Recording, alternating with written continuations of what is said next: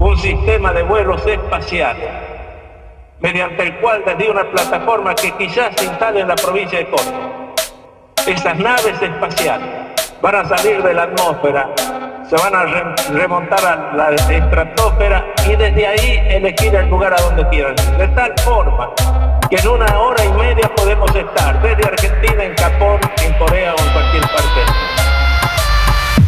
Van a salir de la atmósfera.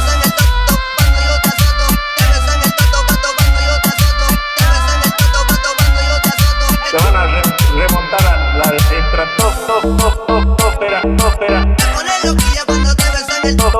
ópera, ópera, ópera.